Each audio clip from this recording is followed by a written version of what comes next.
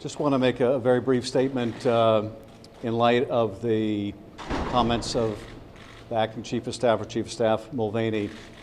with his acknowledgement now that military aid to a vital ally, an ally battling Russia,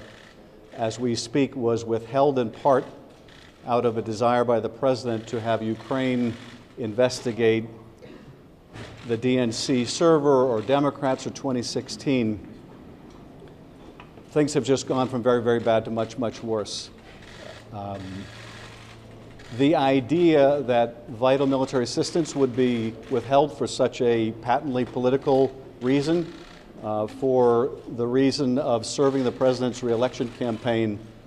uh, is a phenomenal breach of the president's duty to defend our national security.